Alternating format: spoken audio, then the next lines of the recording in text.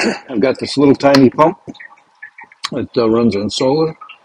I've got the panel hooked up already, charging a little battery that comes with it. It's a really tiny pump. I'm going to adapt it to a little feeder. I got a um, sunflower stepping stone. It was the last one at uh. It was on clearance. Drill a hole through the center. I'm going to have to adopt this because it's not long enough. And uh, we'll, we'll figure something out. And make like a little little bubbler where the water just kind of flows over this. So let's get started. And I've drilled my hole, put my little tip in there, see from the side, and then uh, applied some silicone around it.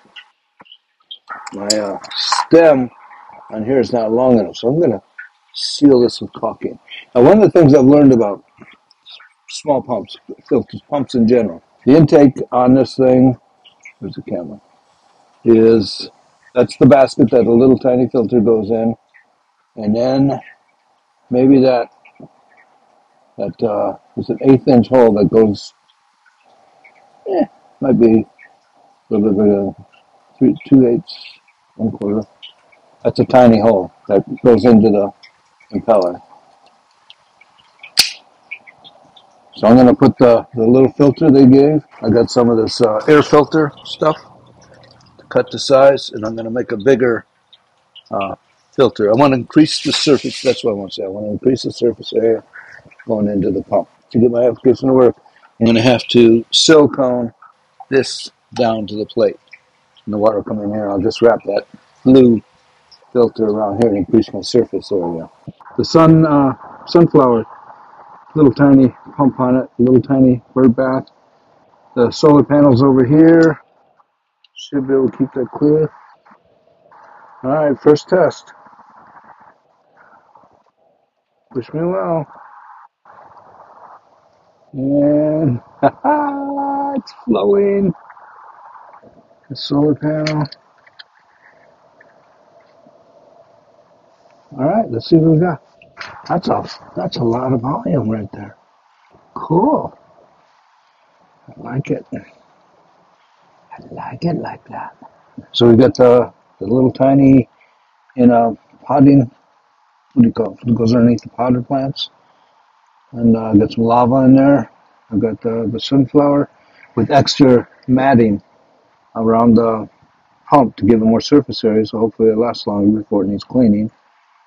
And the lava rock has tons of pores in it, so it helps offer when the birds dump in there and natural stuff that grows in there. It'll help keep that water fresh. Part of like a natural nature cycle. I'm a finished porch. Well, up to this phase. I added, uh, I don't know if that's going to work out, that little fence around here. Thought it might be cute. Add a little area, but I'm not sure yet. Of course, my table, put the green uh, rug down there.